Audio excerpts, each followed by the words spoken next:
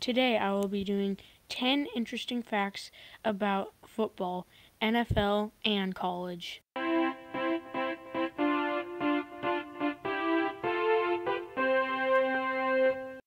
Fact number one The Baltimore Colts made a long distance 80 cent call to sign Johnny Unitas when he was a free agent.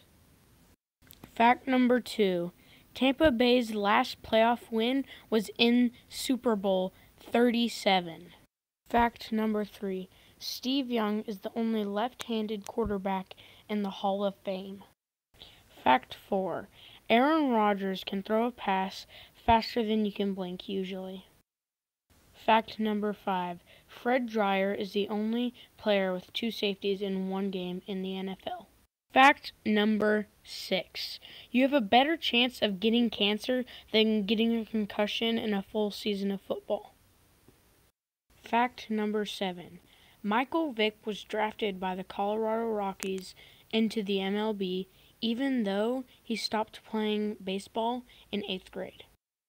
Fact number eight the biggest win in college football history was in 1916 when Georgia Tech beat Cumberland 222 to 0. Fact 9. 18 college football players were killed playing college football in 1905. Fact number 10.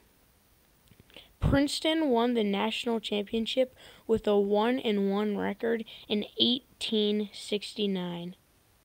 Bonus fact number one around 35% of official reviewed plays are overturned in the NFL.